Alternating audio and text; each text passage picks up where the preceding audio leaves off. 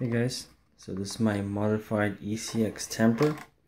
I had this original body on it. Um, I trimmed it at one point.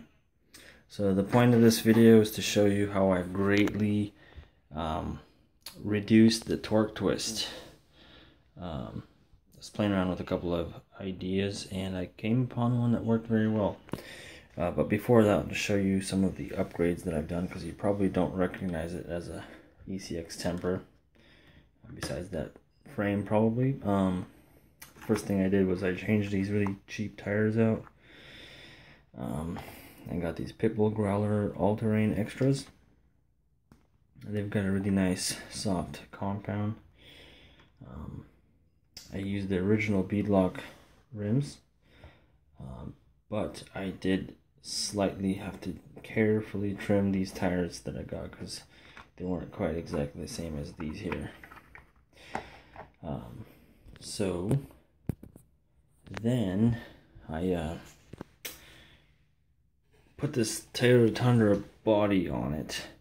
It's a nice body. I got it off of eBay. It's a Radio Shack Tundra. And how I built that was I built my own little aluminum frame.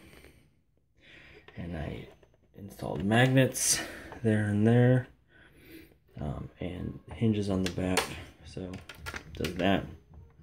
Then what I've done is I uh, took the battery and uh, this part here I forgot what it's called and I swapped them around.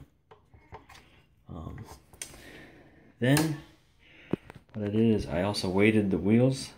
These rims here have full-on weights. In the front the back ones have a little bit less and with the new tires, they came with these foams uh, and then some smaller, softer foams on the outside. Uh, I took all of these out because I had plenty of weight in here. Um, anyways, so now to the torque twist mod. What I've done, let's go over here, is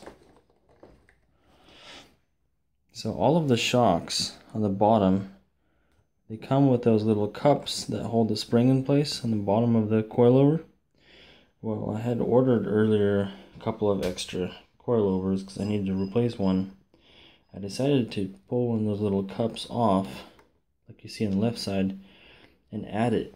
So basically, both of my left side coil coilovers have those spring cups. And just doing that I compressed the spring a little bit more.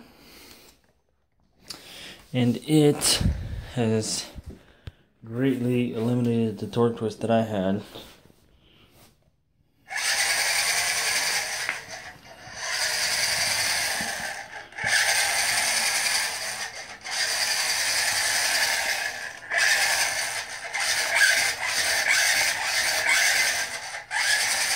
Now, before